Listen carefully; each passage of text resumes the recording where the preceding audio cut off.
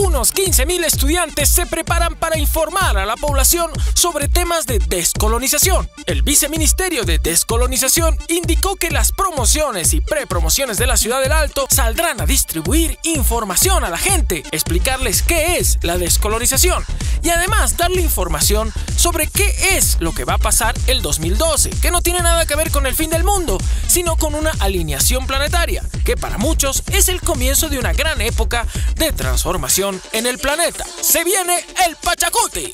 El alcalde de Santa Cruz, Percy Fernández, una vez más está en la mira de la población por otro lamentable acto público, después de haber literalmente amenazado de muerte a los dueños del periódico cruceño El Deber. Todo el mundo quedó sorprendido al escuchar decir cosas como los vamos a tumbar, los vamos poner dos metros bajo tierra o algo les va a pasar a ellos y a su familia. Todo esto lo dijo públicamente frente a la cámara, lo cual lo vuelve más inaudito todavía. La reacción no se hizo esperar y ya la Asociación Nacional de Periodistas ha solicitado que se enjuicie al alcalde de Santa Cruz por esta clase de actitudes en contra de la libertad de prensa.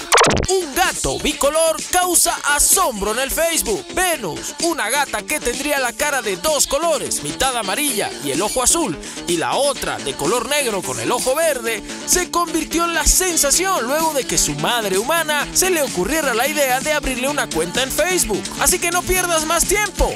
Entra y hazte su contacto.